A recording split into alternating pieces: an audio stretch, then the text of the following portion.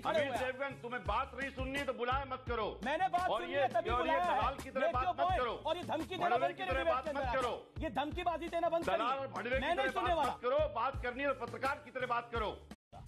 राजीव त्यागी मैं आपको एक मौका देता हूँ। अगर आप इन शब्दों पर खेत जताना चाहते हैं तो आपका स्वागत है।